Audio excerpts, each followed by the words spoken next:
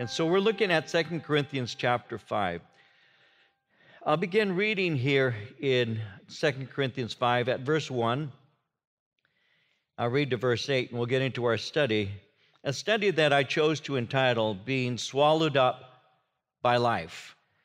And so, beginning at verse 1, reading to verse 8, Paul writes, We know that if our earthly house, this tent, is destroyed, we have a building from God, a house not made with hands, eternal in the heavens. For in this we groan, earnestly desiring to be clothed with our habitation, which is from heaven. If indeed, having been clothed, we shall not be found naked.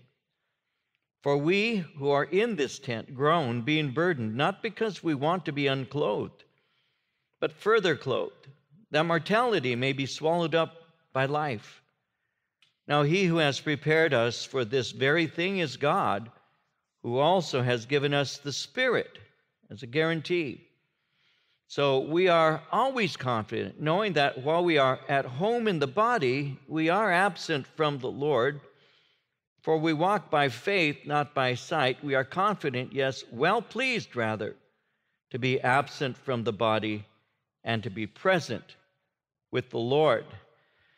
And so, as we're looking at this passage, let me remind you of its context. Let me remind you that uh, Paul had just written concerning some of the struggles that he had been enduring for the sake of the Lord and for the sake of the gospel. And he spoke concerning those things and then spoke of how they were affecting him. In verse 16 of chapter 4, he said, We do not lose heart, even though our outward man is perishing, yet the inward man is being renewed day by day. Our outward bodies are perishing. Our outward, our material bodies, is what he was saying, are, are changing for the worse. He was saying, My body is wasting away under my trials because I am often threatened by death. But in spite of this, the inward man has been renewed and is being renewed day by day. This inward man, this unseen person, can actually grow stronger and is renewed daily by the work of the Holy Spirit. And so Paul is saying, though my body is perishing, I'm gaining spiritual strength. My spirit is being purified, and God is bringing comfort to me every day. You see, part of the way that his inward man was being renewed was through the afflictions that he was suffering. These afflictions that he went through sharpened his mind. His faith became even more bold, and truth became deeper and clearer. And he's saying that his spiritual depth is being developed through the afflictions that he's enduring. And so, as he spoke about that, he was speaking of the, the effect. And in verse 17, he spoke of it in this way He said, Our light affliction, which is but for a moment, is working for us a far more exceeding and eternal weight of glory. And so he's contrasting the, the momentary with the eternal. He, notice how he contrasts the light weight with that which is true weight. And so, one of the things that he would be reminding us of, something we need to consider, it's worth remembering, is that Christian suffering, no matter how intense or how long it lasts, still occurs only in this life. You see, he said in verse 18, We do not look at the things which are seen, but at the things which are not seen. For the things which are seen are temporary, but the things which are not seen are eternal. So, our, our, our vision as believers is not to be locked onto the present conditions, which a lot of people are finding themselves to be doing right now. They're locking on to present conditions right now. They're seeing things and are being stressed by things because they're thinking how hopeless it is and how hard this is. And with so many different kinds of reports we get from various news agencies. On the one hand, it's, it's always referred to as a pandemic, but some, sometimes it's, it's spoken of in such a, a, a way that it causes great fear. I mean, for people to, to go to the, the various supermarkets and to buy up all the products and, and uh, for standing in line, they're standing in line for, you know, for quite some time to get toilet paper and, and Lysol and various other things. I mean, we're showing where our faith is, and and and sometimes it's it's uh, it's important, of course, to have items, uh, but sometimes we we're really revealing what we really trust in by the way we respond. And Paul was saying, listen, he is saying, we're not looking at the things that are seen. We're not locked on to present conditions. Our, our life is really moved by the things that are eternal. Our goal uh, goes beyond what we see at this time because my, my eyes are fixed on heaven. My, my heart is set on eternity. And so, if this is true, then the question I would ask of all of us is, uh, is where is your hope? Is your hope set firmly upon heaven? What is it, in other words, that we're looking, looking for? And Paul begins to speak concerning what he's looking for in verse 1 of chapter 5. Because he says in verse 1 of chapter 5, we know that if our earthly house, this tent, is destroyed, we have a building from God, a house not made with hands, eternal in the heavens. So Paul is explaining what has fueled his faith and his hope for the future. And he identifies what it is that has made him bold and courageous in the face of all of his struggles and his trials. What is it that has fueled his life? What has produced in him such a firm devotion to Jesus Christ? What has given him the calmness to endure so much and the strength that he needs to go through so much pain? Well, he gives to us that insight right now when he says to us, If our earthly house, this tent, is destroyed, we have a building from God a house not made with hands, eternal in the heavens. Notice how he says in verse 1, we know. When he says we know, that speaks of confidence. We're confident about our future. We're confident about our future because of the work that God has done for us. Notice how he says, We know if, if our earthly house, this tent, is destroyed, we have a building from God. So he makes it clear that though his body is perishing, he has something waiting for him. He has this a, a life awaiting him in a sense of this resurrection body that has been made suitable for heaven. His body may be perishing, but God has prepared something much better for him. He's going to receive a resurrection body, one that will never suffer death and never feel pain again. And the young people wouldn't understand this, but those of us who are growing in age and admit it know that uh, we can't do what we used to do. You know, I have to command my body to get up in the morning in a way that I never had to before. I have to command each limb individually leg, get out. You know, okay, one, two, three, sit up. You know, my body, my body's rebelling. It rebels against my mind. In my mind, I'm thinking I'm still young, and my body is constantly saying that I'm deceived. You know, I'm not young anymore. So I do look forward to that new body that the Lord is going to is already preparing for me. I do look forward to the resurrection body, uh, where there is no sickness, there is no pain, there is no death, there is no fear, there's no anxiety. There's there's nothing that is uh, that is awaiting us in heaven other than that which is most beautiful that we can't even imagine. And I look forward to that. And, and Paul said this is what provokes him. This is what motivated him. This is what got him going. This is what, what helped him to endure the different afflictions, sufferings, and the pains that he went through. Because one of these days I'll, I'll be with the Lord. And one of these days uh, I'll never have to suffer death and I won't have any pain any longer. It's interesting, though, how he says, again, look in verse 1, how he says, if our earthly house is destroyed. That's an interesting thing adding the word if there. If our earthly house is destroyed. So Paul is once again making it clear that he expects to be with the Lord Jesus Christ in his lifetime. It's, it's possible that he will die, but not necessarily inevitable. This expectation of being with the Lord and, and what we, uh, we refer to as an expectation of the rapture moved him to live daily in expectation of being with Jesus, the rapture. Um, this upcoming Wednesday night, that's going to be my subject. I'm going to be teaching on the rapture Wednesday night and give you a lot of details related to that. But Paul was, in, was expecting to be with the Lord in his lifetime. You see various scriptures that make that very clear.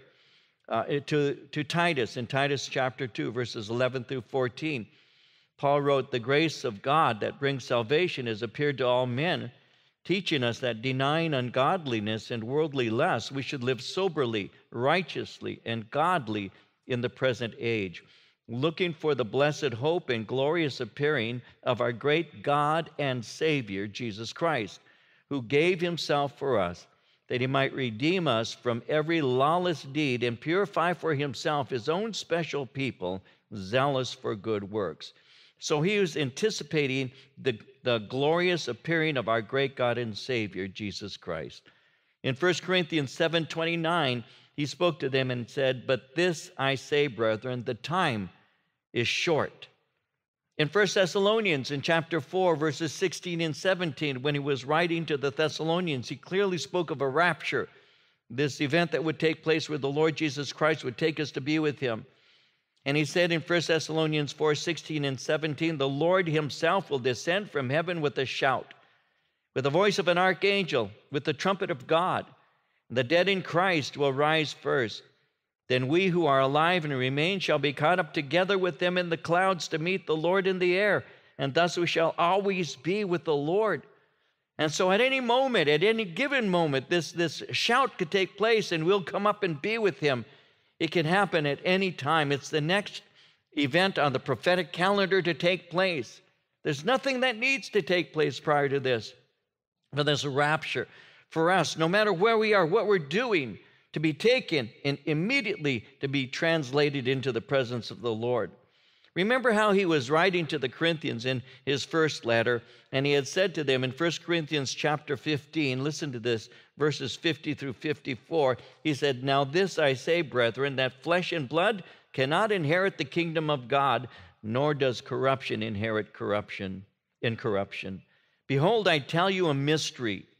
We shall not all sleep, but we shall all be changed in a moment, in the twinkling of an eye, at the last trumpet. For the trumpet will sound, and the dead will be raised incorruptible, and we shall be changed. For this corruptible must put on incorruption, this mortal must put on immortality.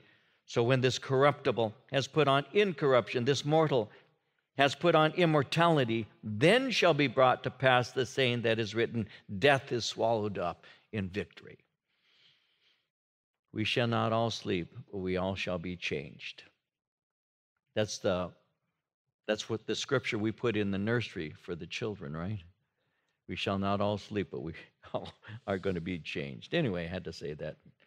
Nobody's laughing, but I am. Ha ha in my heart. So Paul Paul wasn't concerned for his future, though his body was wasting away. Why? Because one day he'd have a perfect transformed body.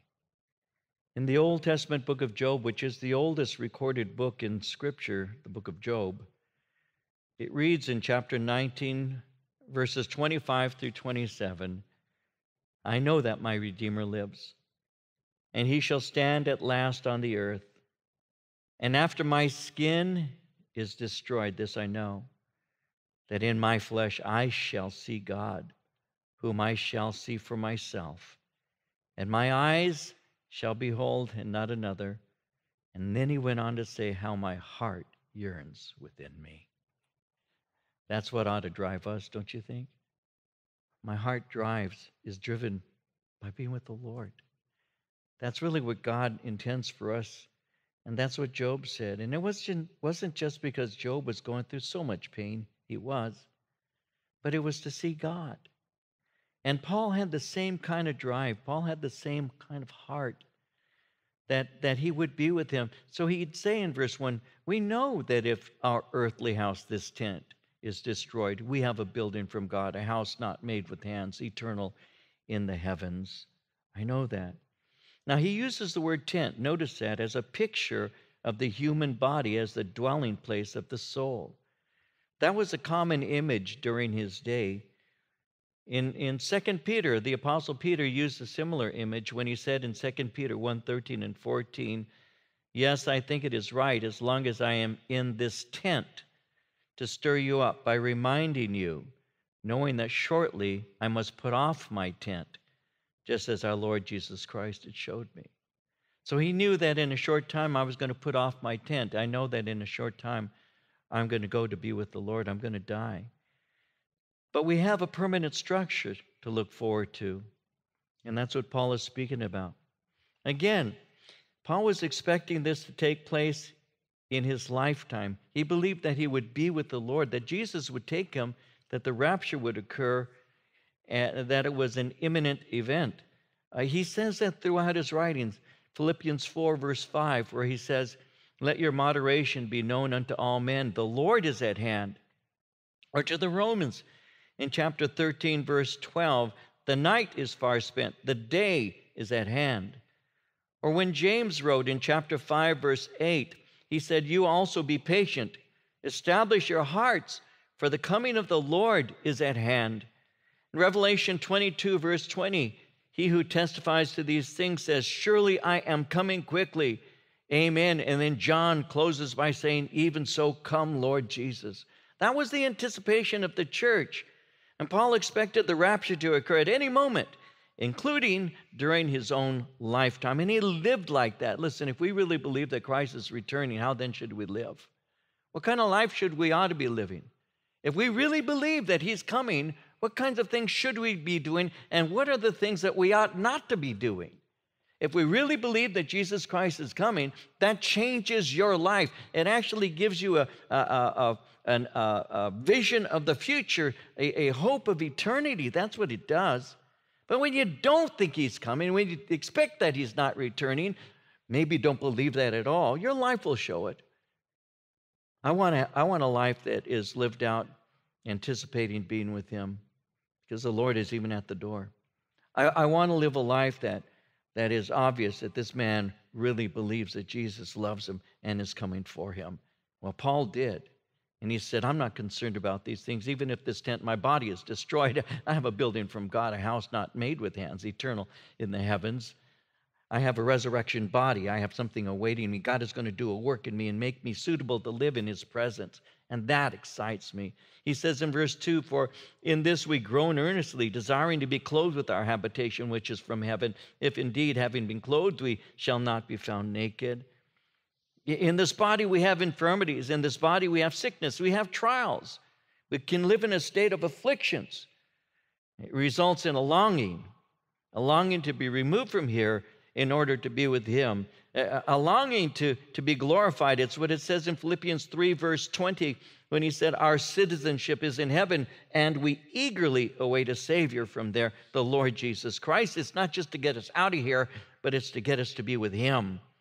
He says in verse 4, he says, For we are in this tent, we who are in this tent groan, being burdened, not because we want to be clothed, but further clothed, that mortality may be swallowed up by life.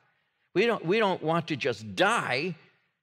We desire to be in glory with Him. We desire to be with Him and, and receive of His abundance. You know, we can get to the point where we, we want to give up, we want to throw in the towel. At one point, Job himself simply desired to die. let's, get, let's just get this over with. Let's be done with it. In Job chapter 6, verses 8 and 9, he said, Oh, that I might have my request, that God would grant me the one thing that I long for, that it would please God to crush me, that he would loose his hand and cut me off. And there's that place of despair where I, I just want to get it over with. I just want this to end. I can't take this anymore.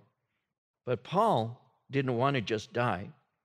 Paul longed to be with the Lord. In Psalm 16, verse 11, you will show me the path of life. In your presence is fullness of joy. At your right hand are pleasures forevermore. I don't want to just get out of here. I want to go out victoriously. And I want to remember that the prize is being with you, and that I'll see you face to face, and that I long for.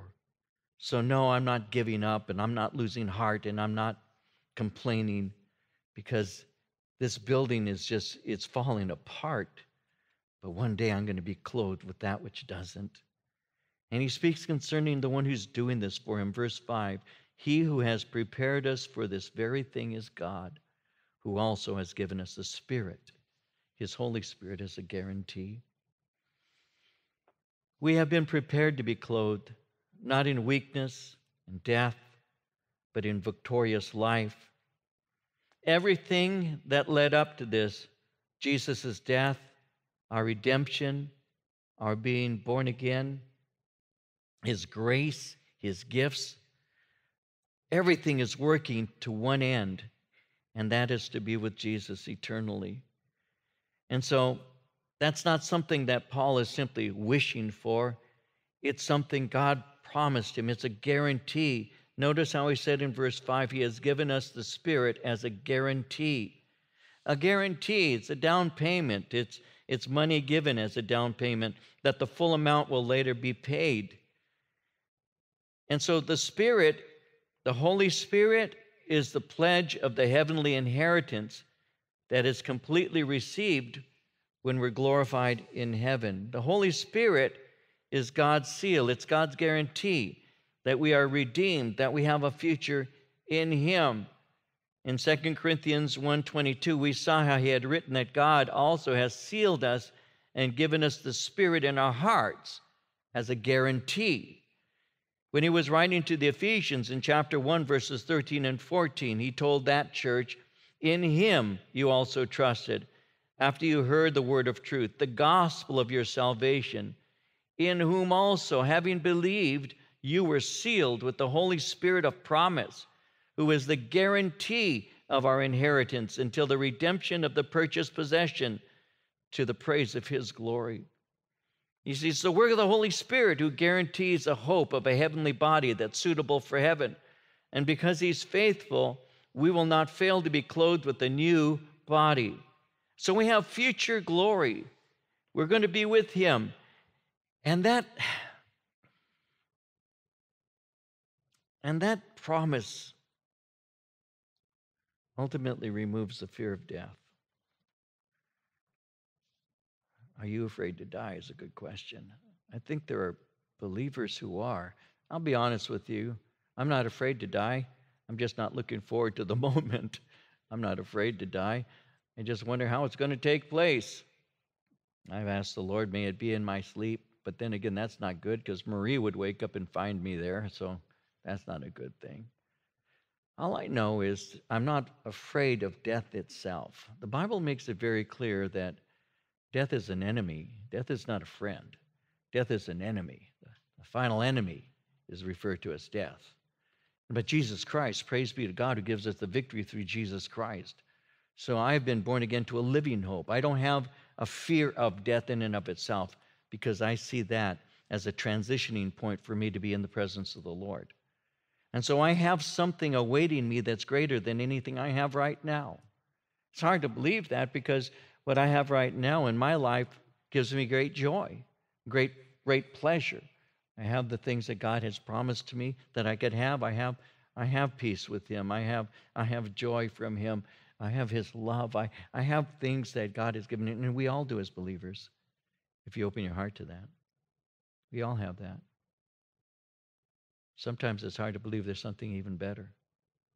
And all this is is a down payment. The Holy Spirit working in my life is simply a guarantee that one day I'm going to see Him face to face. It's a guarantee that keeps me strong. I don't run around wondering whether I'm saved. I don't run around wondering whether I'll go to heaven. A lot of you do. Maybe you who are watching right now, you wonder, you, you wonder, am I going to go to heaven? And it depends. It depends on whether or not you're right with God. Not everybody goes to heaven. Everybody does stand before God. But that doesn't mean that everybody is going to go to heaven. Because for some, we stand before the Lord to receive reward. We'll see that in a moment. For others, you stand before the Lord to receive judgment.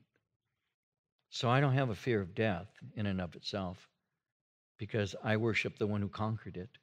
I worship the one who gives me, by the, by the Holy Spirit, a, a sense of guarantee that I'm going to be with him. So I don't run around wondering whether I'm saved or not, because God's word said it. He gave his son Jesus Christ, who died on a cross for me. He died on behalf of me. He atoned for my sins. God's word said he's the Lamb of God who takes away the sin of the world. And Jesus said, If I believe in him, I will not perish, but have everlasting life. And I do believe in him. I do trust him. And as a result of that, I have life. I wonder if you do. If you've been raised in a church, if you've been raised in a Christian family, that doesn't mean you're saved. Have you ever opened your heart and said, Christ, come into my life? Forgive me of my sins. Wash me and cleanse me. Fill me with your spirit. Maybe you haven't. Because I can't assure myself of salvation because somebody I know is saved, and I can't assure myself of salvation because my mom was saved or my dad was saved.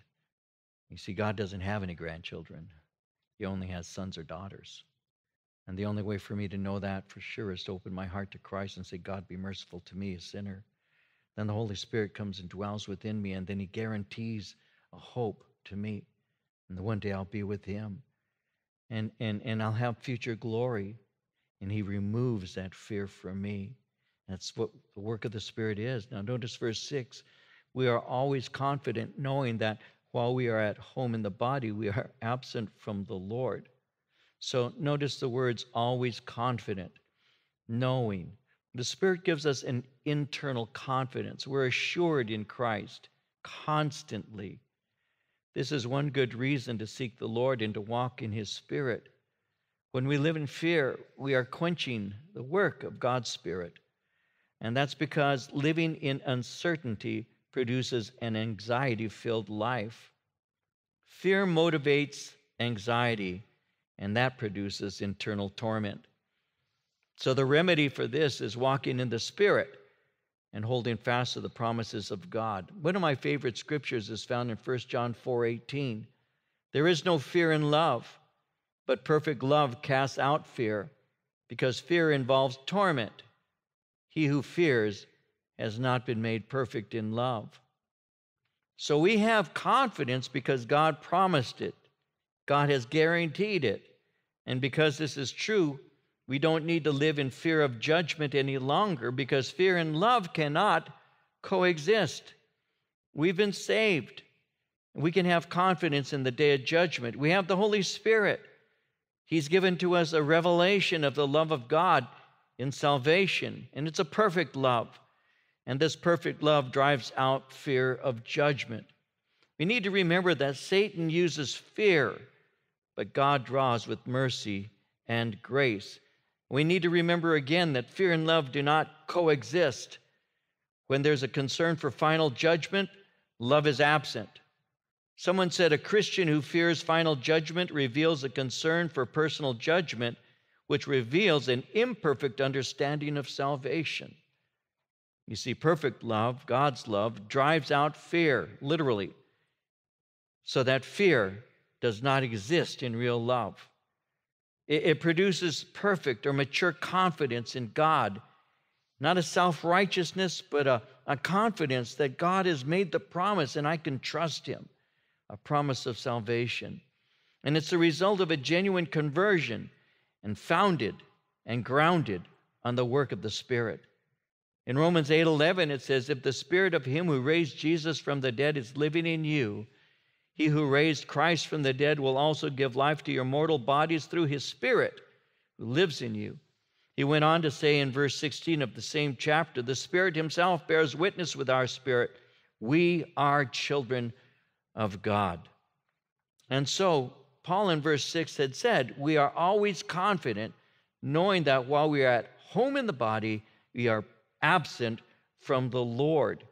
When he says, knowing that we are that while we are at home, the word home simply means to occupy, to occupy the body, to dwell here at this time. We're home in the body. It speaks of a temporary condition. But he's saying to be here, even temporarily, is to be absent from the physical presence of the Lord. It doesn't mean that he's not in fellowship with the Lord, it simply means he's away from home. You see, the word absent, it, it speaks of him being on earth, but he's away from his own home, his own country. It, it's giving to us an insight into a longing to be with the Lord and to leave this temporary place, to go home. When Marie and I go places, and we do often, and we have often, we go places sometimes that we love going to. How many times have we gone to Israel? I forget now 26 times, 27 times. We love it. We love going to Israel. There have been opportunities the Lord has given to us to, to travel in many places. I've seen many countries of the world. I've seen beautiful countries, Austria and Switzerland. I've seen Spain and, and Italy and Germany and Japan and, and you name it. We've been to so many different places throughout the world, and they're beautiful. And, and you, you can walk through the town and you can enjoy yourself meeting new people, and, and you can be seated uh, at, at, a coffee bar somewhere and, and have a, a wonderful uh, coffee and, and enjoy yourself. I remember one time we were in Italy and we were seated in a, um, in a foyer in a hotel. We were on a ministry trip, and Marie and I were having coffee. And uh, we were in this particular hotel for two or three days. And every morning we'd get up and have a cappuccino.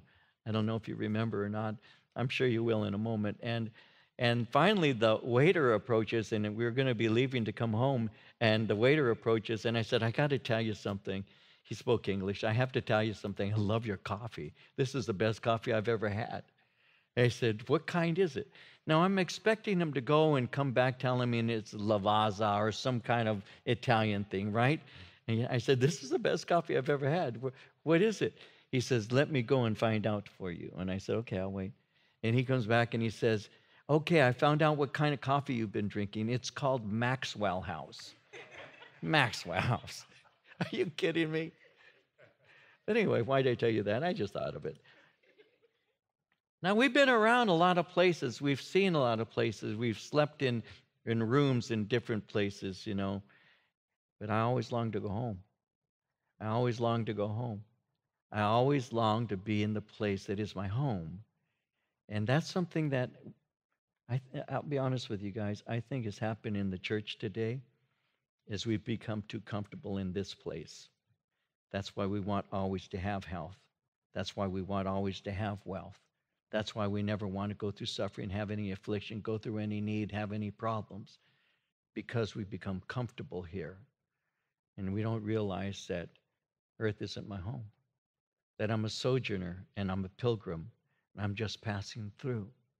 We don't realize that. And so what happens is we get addicted to the world in this age and we fall in love with this world in this age.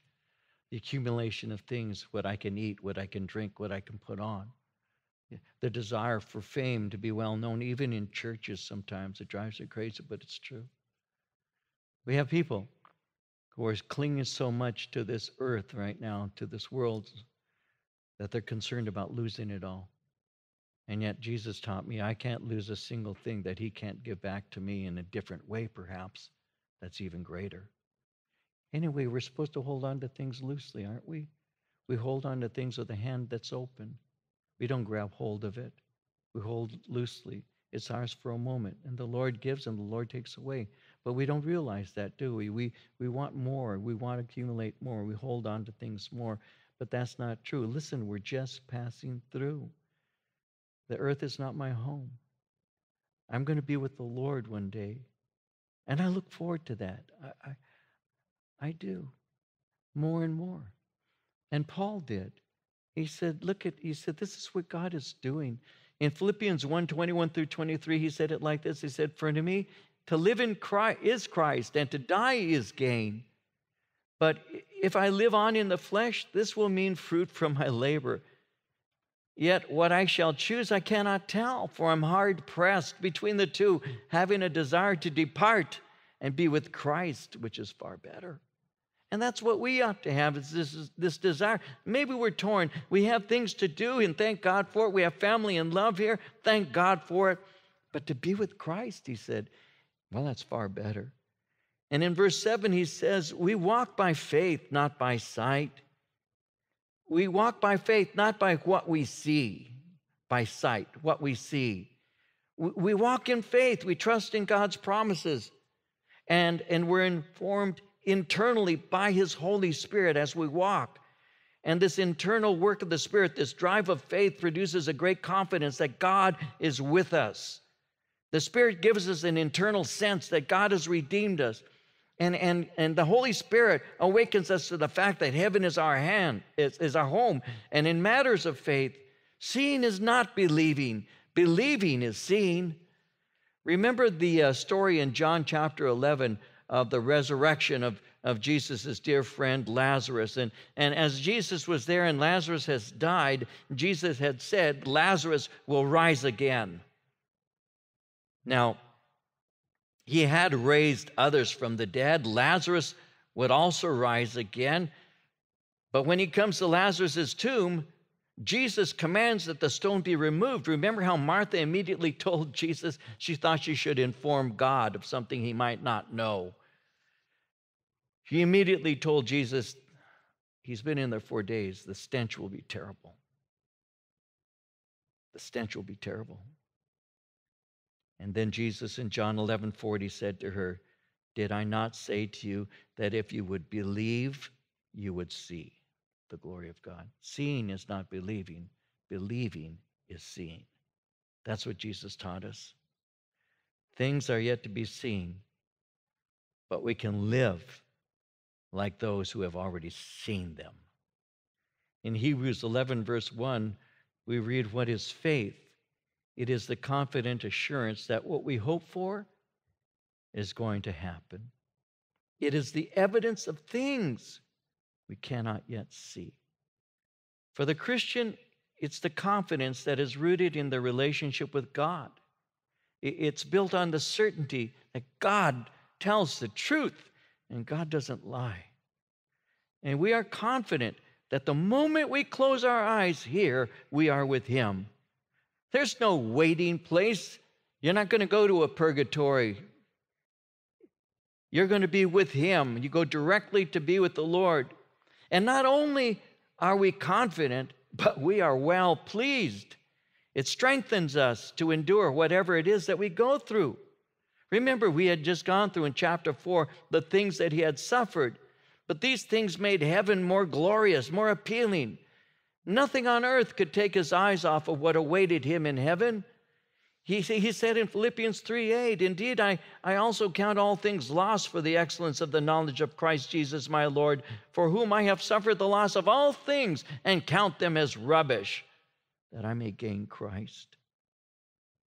That I may gain Christ. We are confident, well pleased, rather to be absent from the body and to be present with the Lord. And he goes on to say in verse 9, Therefore, we make it our aim, whether present or absent, to be well pleasing to him. You might want to underscore that. We make it our aim to be well pleasing to him. That's our life goal. Sometimes we want to be well pleasing to so many different people who could care less. Who could care less. Oh, I want that person to like me. I want to be well pleasing to that person. I want to be well known by that. No. Listen, you underscore this. This is a very powerful scripture, guys. We make it our aim, whether present or absent, to be well pleasing to Him, to live a life that He's pleased with. So one day He'll say, Well done, my good, my faithful servant. That's what matters. Not what other people say, but what He says. We make it our aim. The word aim speaks of an earnest ambition something we strive for, something we zealously pursue. The thought of seeing Jesus face to face spurred Paul to live a life well pleasing to him. That was his ambition, that was his purpose. That's what he expended his energy on. Psalm 27, verse 4 One thing I have desired of the Lord, and that I will seek after, that I may dwell in the house of the Lord all the days of my life to behold the beauty of the Lord and to inquire in his temple. One thing have I desired of the Lord, that will I seek after, that I may dwell in the house of the Lord, that I may behold the beauty of the Lord. That's what he wanted. And that's what ought to drive a Christian. He longed to be with the Lord because he loved him, not because he wanted to escape. He lived in great anticipation of this and it provoked him to live for the Lord every day. Paul looked forward to being with Jesus, so he fixed his eyes on the things that mattered. He knew that this life wasn't all there is, he was passing through. He was a pilgrim. Like I mentioned a moment ago in 1 Peter 2:11, Peter had said, "I beg you as sojourners and pilgrims." That's what he was. But what does a sojourner, what does a pilgrim, t- temporary resident, somebody who doesn't have legal status, someone who's passing through, what are they to do? Well, he says, abstain from fleshly lusts which war against your soul. Why? Well, and we'll close with this verse, verse 10. Well, because we must all appear before the judgment seat of Christ, that each one may receive the things done in the body, whether according to what he has done, whether good or bad. Oh, really? We're all going to stand before him. He was motivated by the desire to receive a full reward for his service. In 2 John, verse 8, John said, Look to yourselves that we do not lose those things we worked for, but that we may receive a full reward. You see, we stand before the judgment seat of Christ. Now, some think this is a place where Christians stand before Jesus and are judged for sin. No, that's not what this refers to. This refers to the judgment of believers not for salvation, but for rewards. It speaks of rewards that are received or lost depending on our service to Jesus. We need to remember that Christians live under the grace of God. We don't come into judgment in that fashion. In John 5 24, Jesus said it like this He said, I tell you the truth. Those who listen to my message and believe in God who sent me have eternal life.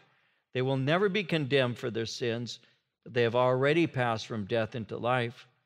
We need to remember that salvation is a gift, but there are rewards for faithfulness in the Christian life.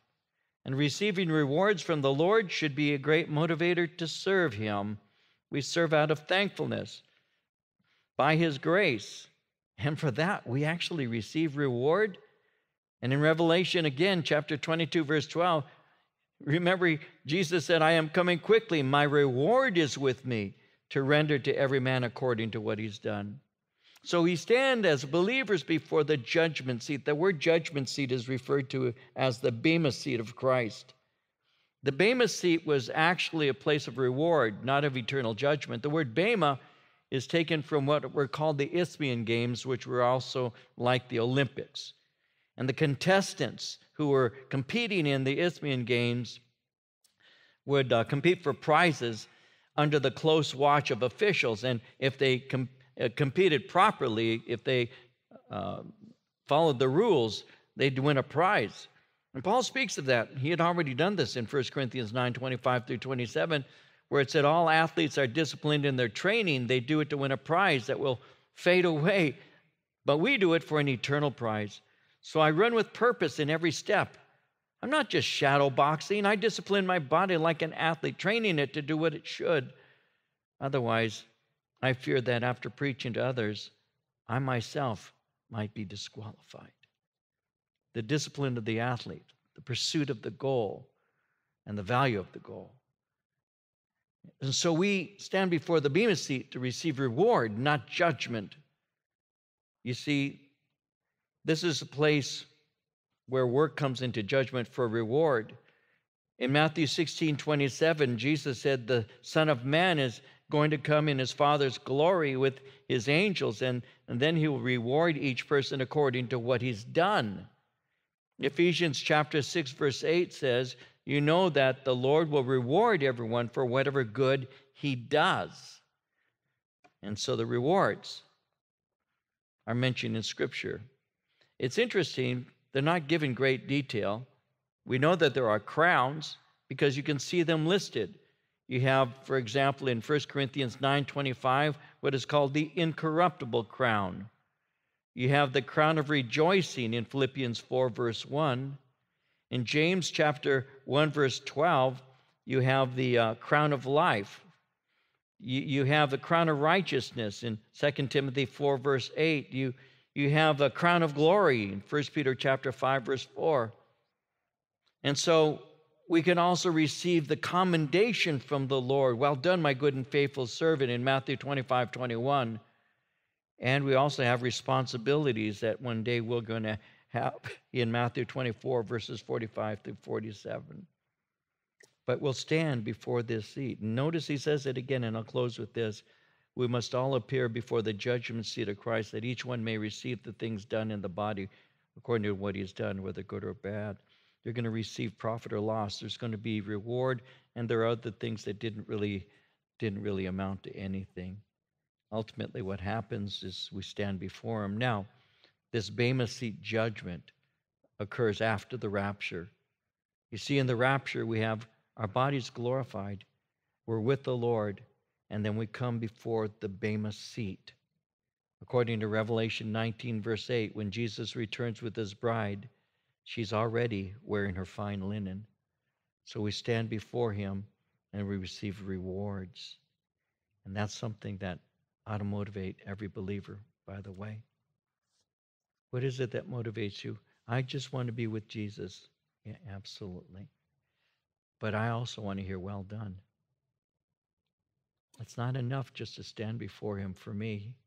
It's to, his, to hear his commendation. Well done. Well done.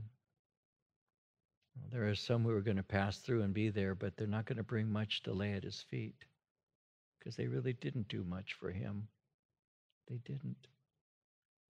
Being a Christian was their life insurance, if you will. It was fire insurance. You keep from going to hell, and, and I get to go to heaven. I've never been one, and I'll close with this thought, guys. I've never been one whenever I used to compete, and I did for many years in sports and various things. I was never one who enjoyed being on a team with teammates who didn't take it seriously. I couldn't do that. I'd get frustrated. I didn't like it. We used to play games when I was in Little League all the way back, way back when. When there was a game we used to play, I don't even know if it's still played by this name. It was called Over the Line when I was a kid. We'd have a couple people. We'd have a shortstop and maybe an outfielder. Sometimes we had two outfielders. You, you'd maybe three kids at the most. And you'd stand up to bat and you'd hit the ball. And if it uh, was on the ground, you'd get certain somebody you'd say okay someone's on first if you hit it over the head it's a double you hit home run and that's how we played the game and i played a lot of baseball and sometimes we'd hit the ball and the outfielder would just kind of walk to go get it it would go past the shortstop order and he'd just walk and go get it and walk back. I hated that guy. I hated it. Run, hustle, get the ball, keep the game going. What are you doing? I hated the laziness. I, I, I just couldn't put up with that. If you're going to do something, do it well. If you're going to do something, do it with all your strength. If you're going to play, play hard. Play hard. You know, I had the uniform. I played baseball for years. You know, I didn't want to sit on the bench. I didn't want to be the guy who was like a cheerleader for the rest of the team. I was on the team, I want the team to win, but I don't want to sit on the bench. I want my glove to be used, I want my uniform to be dirtied. I want to play. That's why I came. That's why I signed up. I've always been that way. My mother used to say, Oh, David, you're such a bad loser. I was very competitive. I was very competitive. We got to win. There's nothing else. Second place is only first place for a loser. And the Lord had to take me and He had to change me, and He did tremendously. And I'm still, though, in my heart, I'm still driven. People don't understand that. Not everybody does. Oh, you're obsessed. You're this, you're that. No, I'm driven. Excellence matters to me. Doing something well matters to me. Ministry matters to me. That matters to me. So we do it the best that we can as unto the Lord and not unto men. Why? Because from the Lord you hear the well done. From the Lord you receive the reward. That matters to me. Why? Because either I believe it or I don't. But half hearted devotion to God is never commanded in Scripture. He never says, Love me with half of your heart, serve me with half of your energy. He says, Love me with everything. Because after all, that's the only love that matters, isn't it? If my wife only loved me with half of her heart, I don't have a good wedding, a good marriage. If I love her with only half devotion, I'm not loving her like she should be loved. I love her with all of my heart. That's what God called me to do in my wife. That's what I do with my children. That's what I do with my grandchildren. I love them completely, and I love my church. And I really believe that we should love God with everything. And the reward that we get Can you imagine, guys, one day? But to hear him say, enter into the joy of your Lord one of these days.